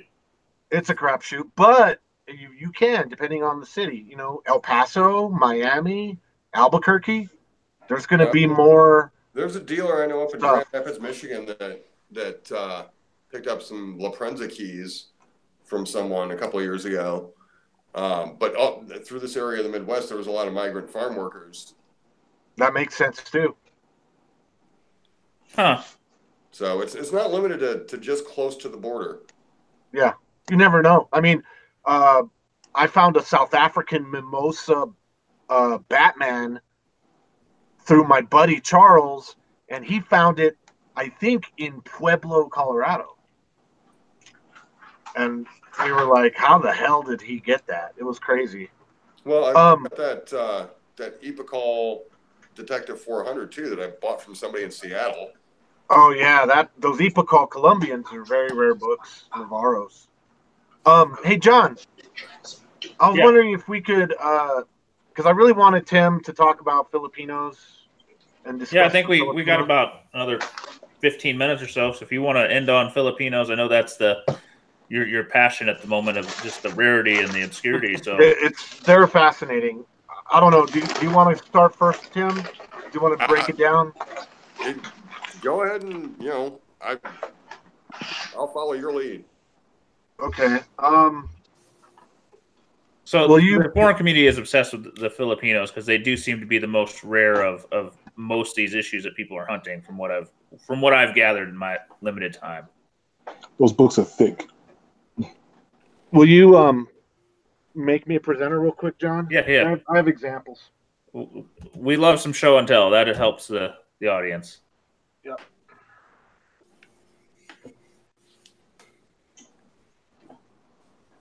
Okay, so the Filipino editions are kind of based around bookstores. And I'm not exactly sure why, but I think it's because I- I'm not sure. Just the bookstore culture there, they they they got a lot of their literature and different stuff from from those bookstores. And there are three major ones. There's actually I think four, but you have National Bookstore, Goodwill Bookstore, Alamar Bookstore, and then you had Universal Bookstore, which was later in the more modern era. Um, and there might have been even a few others. Um, they would have branches all over the island. So, you know, the Philippines is, is, is an island.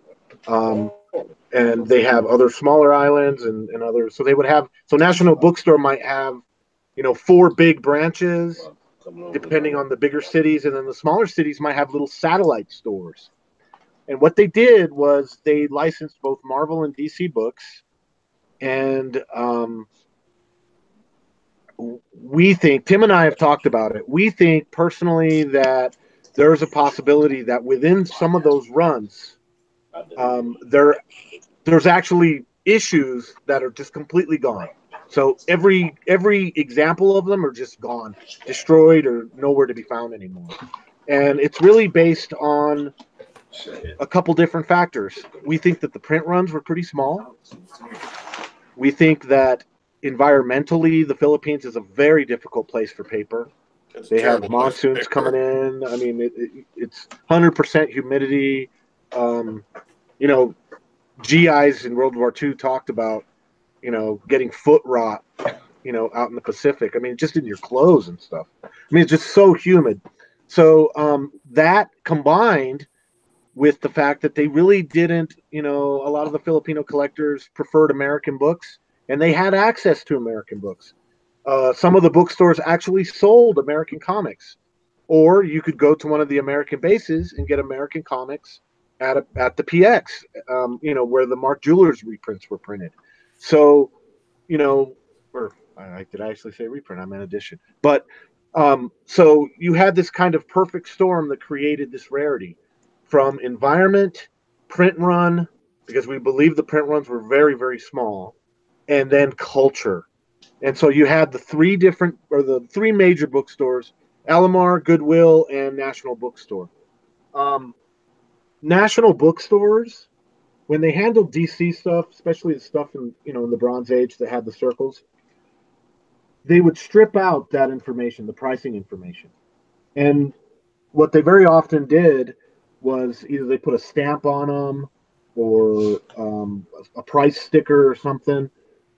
So sometimes with the Filipino books, when they're empty, when they have empty circles or they don't have um, a price on it, here's an example of a national bookstore where you see like a price put into it. It's like a stamp. Um, here's another example of a DC national bookstore where they put in a stamp and usually see that same stamp, uh, sale and then P and then that says 175. And Tim, remind me what the currency is. The P stands for is it peso? Is it pesos they use? I don't remember. Uh, it's it, they call them pesos. Yeah, they're their own pesos. Peso. It's a Philippine peso, yeah. so it's different from a Mexican peso. So most of them come with a stamp because that's how they were sold. But the issues that don't have the stamp, I like to call them virgins. They haven't been touched. I know it's a sexual reference, but I like to call them virgins. And they so when you when you when you get National Bookstore, you like to find the ones that don't have anything on them. Um, that's my preference, at least. Um, Do you think of, you think you think of the stamps or, or you know penciled in prices as, as defects, and I think of them as character. yeah, here's another example of a stamp. You see it, and then it some of the stamps had this weird circular thing that was going on with it. I'm not exactly sure what that is. And then here's here's an example of one that that didn't have anything. So when they did Marvel, kind of like with DC, they just left it blank and they'd leave the the issue number in it. Now back the book up a little bit. Is it the Sabretooth one? No, no, no, no. Oh no, no. okay. Though if the Sabretooth, I don't know. I think the Sabretooth one could exist, but I've never seen it. Have Have you ever seen that one, Tim? No. Yeah, I mean it's possible, but I've never seen it. Um, I'd say Marvel key wise, this is probably for Ooh, National Bookstore one. one of wow. the one of the the nicer ones that I have.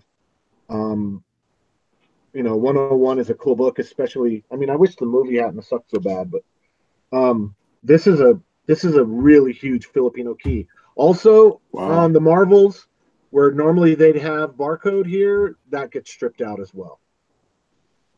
How much that cost you? um, this came with a gr- that group that we were talking about earlier that Tim said was uh, it was like I, I Tim and I both pitched in on it was like 50 books, Tim. Something like that. And that that brings me to another story. So the Philip, the first American, we knew the first guy that was on the ground there that knew what these books were and appreciated them, and uh, he was he was doing everything from putting ads in local newspapers to going to the different comic shows. Uh, his wife was a comic dealer down there, and guess what? All they're dealing in is is in American and manga, and Japanese and manga and Korean manga and stuff. Their own local uh, bookstore books they don't for the most part they don't they didn't really care for him um, in fact that same guy was there for the asia comic con one of the largest comic cons in that part of asia mm-hmm. and um, we asked him we said well make sure to look for you know bookstore books any bookstore books, any Tagalog reprints, any of that stuff. He did not find a single bookstore Filipino at all in the entire con. And he looked and he asked dealers too. So that just kind of gives you an example of how rare these books are, even in their country of origin. Now, you get lucky when you find these books here in America. That tends to happen. Um, and the reason that you you can find them here in America is because we think a lot of American servicemen that were stationed over there probably picked them up and just threw them into their collections. This is a book that I bought from Tim, and he was able to pull two of these out of America. And the American ones, the ones that are here um, that escaped the island, tend to be in nicer conditions because if they were with Americans, the whole bag and board culture permeated throughout, and they escaped Well- the The difference in humidity. in humidity alone. But you know, this is probably one of my biggest DC keys, and this is not National Bookstore. This is Goodwill. So we talked about National earlier. Goodwill Bookstore was different, and not only did they strip things out, they even stripped the numbering out. Um, So they're not all the same. They're different, different, identified differently. Yes, they are. Because Goodwill numbered them in a different way. So here's a Marvel Goodwill.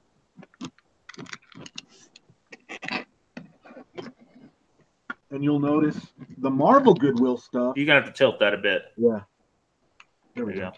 The Marvel Goodwill stuff did this weird numbering. And Tim, will you explain that? Because I, I've still not figured out how to explain it properly. It's uh, uh, well, okay.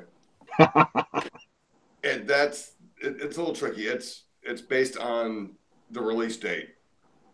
Um, me and me and Doc actually were looking at it, and because keep in mind, outside the U.S., they don't they don't structure writing the dates the same way we do. We do month, day, then year. They do it by year, month, and then day. Um, and the, the stamps on those, it, it, it coincides with about when those books should have been released. And it seems to be fairly consistent with, with all the ones that, that we've seen. So it's, That'd be it- it- 75. It's, it's, a, it's essentially it's a date stamp.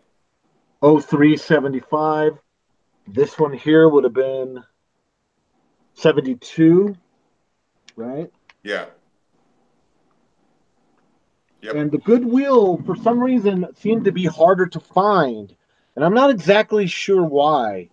Um, I think it's because the Goodwill was doing them first, and the National Bookstore jumped on kind of uh, the printing bandwagon for, for DC and Marvel.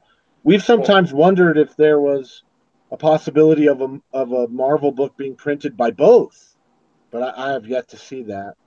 Um, and then, okay, so that was Goodwill. The, the print runs may very well have been smaller on the Goodwills too. Yeah, they may very may well have. Because if you you know think about it, we're not talking about a print run for like America where you're printing in the millions for every state. The Philippines is still a relatively small island, and you're only printing them for the different bookstores. So for that month, you're printing some of that issue for your bookstores, which you might have four major stores and then maybe 10 little satellite stores. Now, what we've been told by Filipino collectors is that you could find the bookstore editions not in the bookstore. You can actually find them on the stands. So we don't know if maybe the printers were printing these runs and then you know as as it goes in third world countries people make money in every way they can and then maybe they were maybe they were, had a little side job selling them to the the the newsstand people you know the overruns they sold to the newsstand people so maybe you could pick them up there but either way it's not like these were getting printed in anywhere near like what print runs were in europe or south america or america No, um, they had to have been teeny tiny I, I, I think at their height, National Bookstore at that point in time had five locations, and I, I, I can't imagine, you know, with with the economy in the Philippines that they were selling more than maybe 500 copies per location on a monthly basis. and that's Wow. not going to be every title either. So I mean, print runs on some of these might be literally a couple thousand issues. book is that? This one is the uh, world's finest 211. You got to remember, most of the keys weren't keys when they were printed; they're just random luck. Yeah, it's whatever luck. whatever the bookstore decided they were going to print that month. So Yeah, that Phoenix. So the of X. Oh, go ahead. Go ahead, Robert. We've seen come out of there that, that we would consider keys. You know, you, you saw Matt's X Men 101. He's got the Star Wars one. Um, This one's a key. I've got He's got I've the got weird the Western. All Star Western 11 that that Glenn Yeah, All Star Western find. 11. Yeah. We still don't know if the 10 was printed, if if it exists at all. Um, but yeah, it's it's just it's it's very random. There's no rhyme or reason to how anything pops up. It's And these books have the Frustrating. guts that matches the cover. Yes. yeah. Okay. The page So the X-Men inside 101 is oh usually different because they don't have the same ad pages that the American books do. Yeah, the Star Wars. That's nice. And this is an Alamar. So that's the other group. Yeah, this this is this is the Alamar. You know, So there could feasibly be three Filipino Star Wars ones. Could, but I really don't think that No, if Goodwill, Goodwill and National had done it, it would have popped up by now. I think. no Goodwill and National had, had stopped printing by the time Alamar started. Yeah. Okay. 77 late 70s um yeah so alamar is a whole nother story um they're even kind of they're even smaller as far as i know and I've- i've heard i think they're an even smaller bookstore than either goodwill or um national and um ron rickard could go into this in more detail but we think that alamar was connected with some kind of pizza shop down there because because most of the there have been some Star Wars ones that have come out of there that Ron has found that have like this sticker um, talking about um, like a pizza joint or something. That Um, might have so been we're- a promotional thing too. Maybe the Yeah. that, that didn't sell any, any return copies, you know, they picked up to use as a promotion. Yeah, for a pizza joint. So we've seen them with this pizza joint sticker and without. But the Alamars have these weird, funky uh, little advertisements in them with some kids that are drawn really ugly. I wish I had examples. They're just the, like the ugliest little kids are selling these Alamar these Alamar ads. They're like Alamar house ads, and they're just they're freaky. I don't have examples, unfortunately, but um, yeah. So so those are your three major bookstores: um, Alamar, Goodwill, and National. Um, there was also a, a run, the Atlas reprints, or they call them reprints, but the the Atlas editions. You have a Spider-Man 300 in there.